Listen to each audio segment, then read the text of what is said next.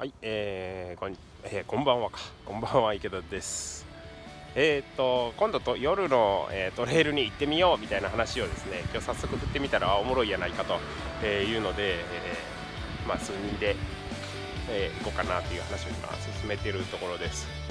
で、まあ、まず、ライト1個でですね、え真っ暗な、えところに行ったらどうなるのかというのをですね、ちょっと実験で、まあ、えー、近くのですね、えー、街灯がない公園でちょっと試してみようと、えー、思いまして、え今から行ってきます。はい。よいしょ。ではスタートします。ここは、え結構おコンパクトな山なんですがなかなか登りごたえがあっていい感じなところですね。よいしょ。よいしょ。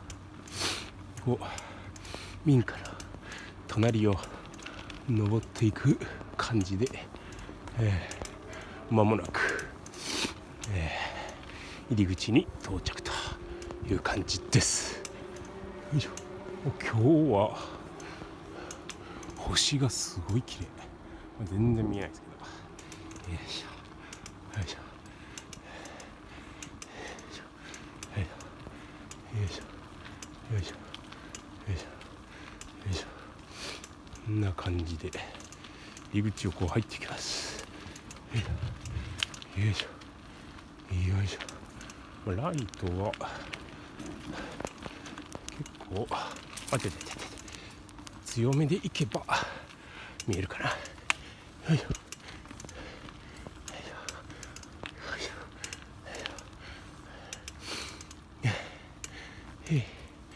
いしょ。よいしょ。まあこんな感じですかね。ここは桜が綺麗に春はですね咲くので非常にいいという感じです。やはり夜の、えー、トレイルとかこう街灯がないところになると結構真っ暗ですね。よいしょ。よいしょ。ちなみにちょっと自転車を降りて。こっちの方が街です。結構綺麗ですね。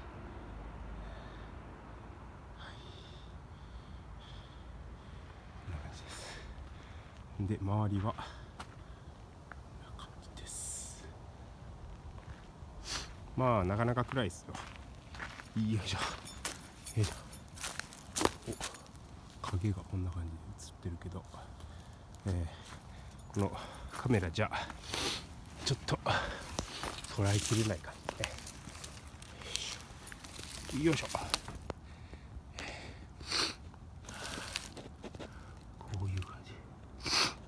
まあでもどうなんかな。これ今、えー、ライトの上に置いてるんですけどこれやったらちょっと見えやすいかなっていう感じですね。よいしょ。こう自転車に装着したライトだとやっぱりこうハンドルを切ると切った方向に、えー、曲がるんで、えー、実際によいしょ。山の中に入ると意外とこう前がですね見えないんですよ。ハンドル切ってる方向が見たいところっていうわけではないので。よいしょ。よいしょ。うん。でここから。階段になって上に登っていくと。今度はこっち。こういう感じに広場になってますね。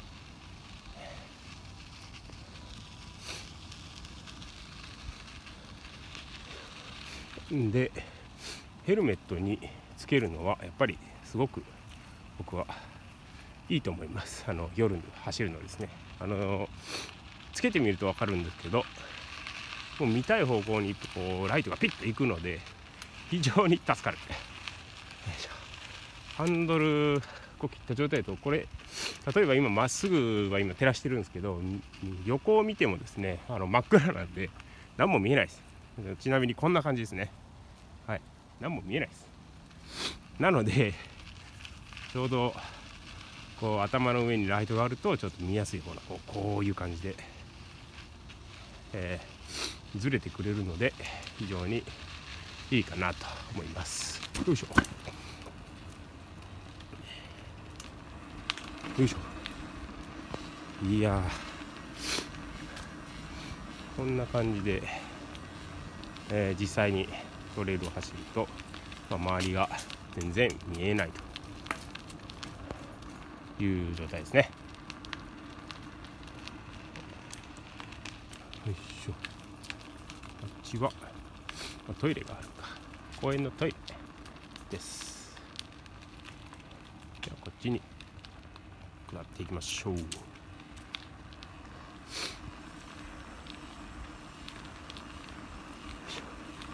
ぱり夜走るときはですね、ま最低でもライトは700とかですね それぐらいあった方がいいかなと思います。700ルーメン。で1000とかですね10002000あ1500とかがまあちょうどいいかなと。それがえー、まあ頭の上に1頭あれば最高なんですけど、えー、まあ、まあ、2頭あればええなできれば2頭欲しいな。うん。1頭やともし途中でこうねあの電池が切れたりしたらちょっと怖いんで本当にもう何も見えない状態で、まあ、走ることになるのでそれはちょっとね嫌ですよね。よし。では、えー、一般道路に降りてきました。はいこんな感じでした。夜の、えー、公園ですね、えー、ではこういう感じです。はいえー、行ってきました、えー、真っ暗でしたね。